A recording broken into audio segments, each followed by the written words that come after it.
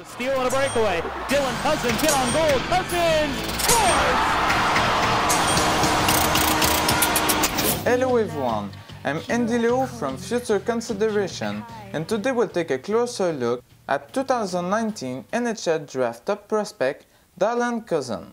Cozens has been a consensus top 5 pick for the upcoming draft in June and all indicates it will stay that way for the rest of the season. After a strong Hlinka Gretzky accumulating 5 points in 5 games, the Canadian center has currently 14 goals and 36 points in 27 WHL games for 1.33 point per game. Just for comparison, in the U18 season, Nolan Patrick had 1.42 points per game, Cody Glass had 1.36 points per game, and Mathew Barzal had 1.3 points per game. But outside of his shiny stats, what makes him such a promising prospect? Well, let's look at every aspect of his game. That means his skating, shooting, passing, stick handling, defensive game, physicality, hockey IQ, and competitiveness. Let's start with his skating. Cozens is one of the best skaters of the draft. He has a jaw-dropping acceleration and an incredible top speed.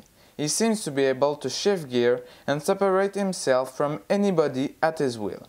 When he finds a lane to the other end of the ice, the opponent has a tough time stopping him. He has a very fluid stride and some slick edges too. Cozens loves to use his speed to create multiple control zone breakouts and entries, but there is still room for improvement as he loses the puck or gets easily stopped by the defenseman too often. With his skating alone, Cozens can dominate games and create plays for himself. I will definitely give him 5 stars. Let's pass to his shooting. Cozens possesses an incredibly powerful slap shot on reception that destabilizes goalies. He also owns a very precise wrist shot. He prefers to shoot on the left side if that's relevant. With his good strength and shot on reception, it's to no one's surprise that Lethbridge forward got some great finishing skills. Cozens' shot is very complete as he can score and create dangerous chances from anywhere and with any type of shot. He currently has 14 goals in 27 WHL games this season after putting up 22 goals in 57 games last year. I will definitely give him 5 stars. Let's now take a look at his passing. Cozens has a great vision and one of the best from 2019 eligibles. His passing skills are above average as I found them very inconsistent. While he can make precise neutral zone passes, he also happened to miss his passes more often than I would want from a top prospect. I don't think he's a puck hog at all, but I would like to see him open deeply more often as he becomes less predictable to his opponent. He distributes the puck well on the power play with his great passions. A lot of potential with his passing, but I will give him 4 stars for now. Let's now discuss about his stick handling. Cozens has some slick and quick hands. He angles goalies and breakaway easily and his fast-paced puck handling helps him go through the opposing defense without getting touched. He can also make room for himself and dodge poke check in the offensive zone with his quick reaction and hand-eye coordination.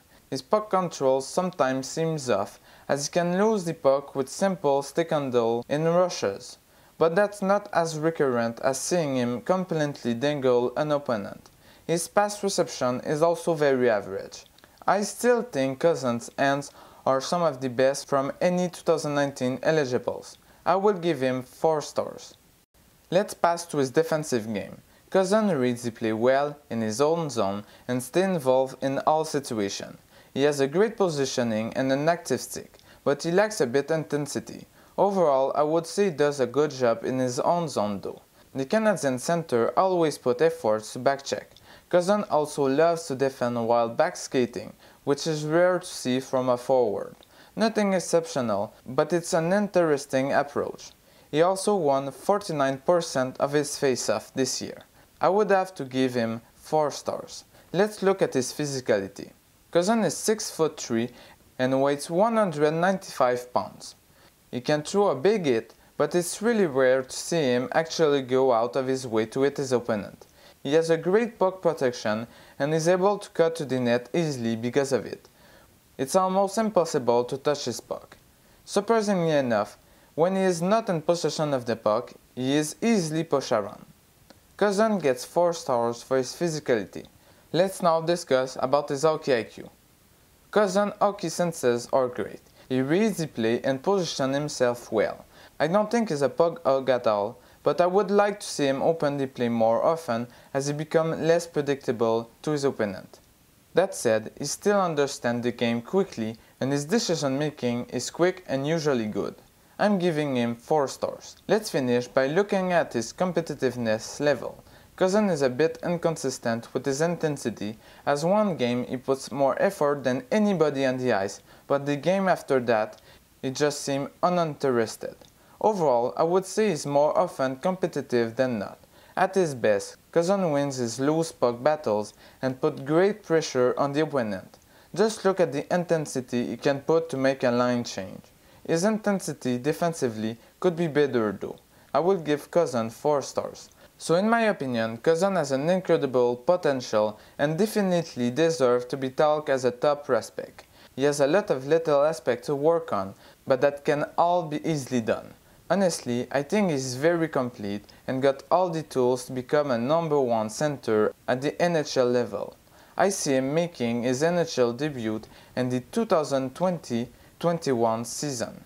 Future consideration had him in their fifth spot in their most recent ranking, and I think that's a very fair ranking.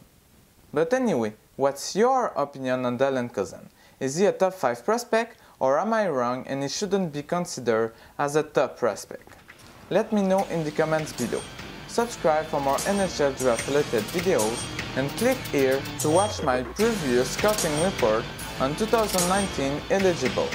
I'll see you for the next one. Here I come, you can't hide. Ready or not, here I come.